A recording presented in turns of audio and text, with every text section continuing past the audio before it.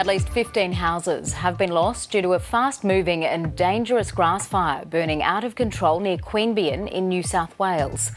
The fire is threatening the area of Captain's Flat Road at Carwoola and Captain's Flat southeast of Canberra. Here's what we know about the situation right now. The fire size is understood to be in excess of 2,700 hectares. The New South Wales Rural Fire Service says easing winds have allowed some sections of the fire to be stopped by crews, but they don't expect to contain the overall fire until tomorrow. There are more than 30 tankers on the scene and at least half a dozen aircraft battling the blaze. One firefighter has been taken to hospital with burns. More than 100 fire affected residents are expected to shelter tonight in the evacuation centres in Queanbeyan and Bungendore.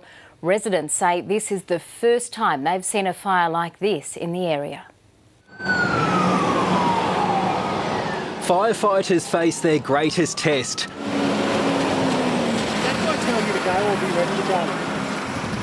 Now racing very hard across the grasslands towards the townships of Rossi, Forbes Creek and Hoskinstown. A wall of flames barrels towards them. And this is just one part of a blaze that's getting bigger. Um, operations have asked if you could link up with that Yass strike team to assist with a direct attack in the open. Over. As neighbours flee the inferno, extra crews race in.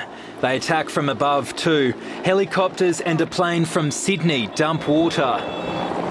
In severe weather conditions, this blaze requires all they've got. The fire is heading towards them now.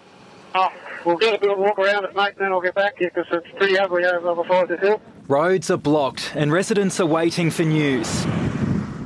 Homes have been lost. It did jump over the side of the road and then it just hit our house. Um, we've just got a, um, a house sprinkler system hooked up and we've set that off once or twice just to dampen things. For some, the instinct is to return, but there's no time for niceties. Unless you want to go through a crown fire and you're prepared, which you're not, go put some proper clothes on, leave.